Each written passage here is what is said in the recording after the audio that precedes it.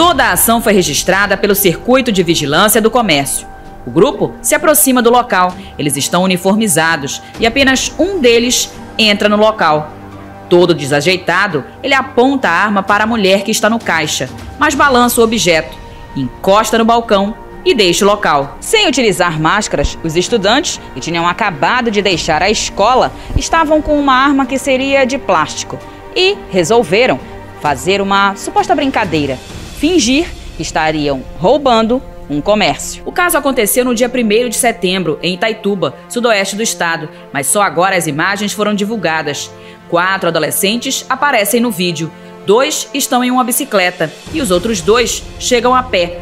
No momento em que o estudante entra no estabelecimento comercial, um homem está próximo ao caixa, recebendo atendimento. Ele fica imóvel durante toda a ação.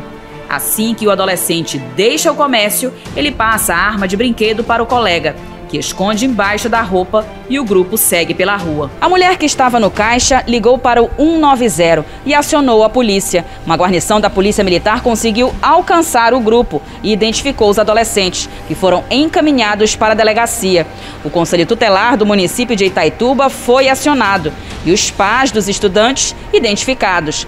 A arma encontrada com eles era realmente de plástico e foi apreendida pela polícia. A brincadeira poderia ter saído caro para os estudantes. Se no local alguém estivesse armado e reagisse à ação, o resultado poderia ser uma tragédia.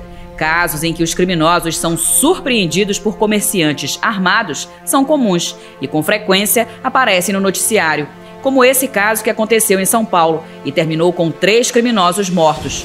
O caso registrado em Itaituba é acompanhado pelo Conselho Tutelar.